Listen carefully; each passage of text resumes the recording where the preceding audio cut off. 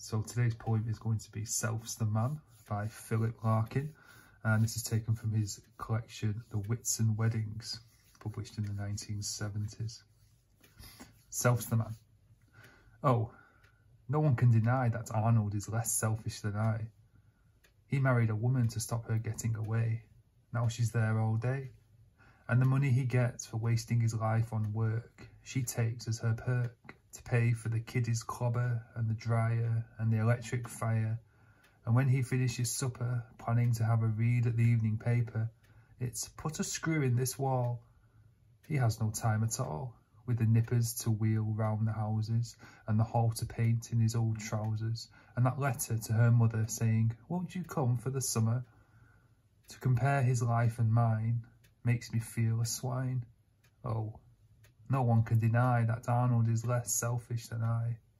But wait, not so fast. Is there such a contrast? He was out for his own ends, not just pleasing his friends.